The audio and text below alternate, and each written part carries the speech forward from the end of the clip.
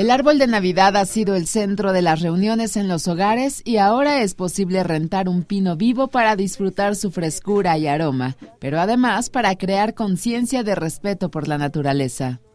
Rancho El Paraíso en Jalisco ofrece una experiencia ecológica en las familias que lo visitan, ya que se puede elegir un pino que está sembrado, observar cómo cuidadosamente lo sacan de la tierra para ponerlo en una maceta y finalmente servirá para adornar el hogar.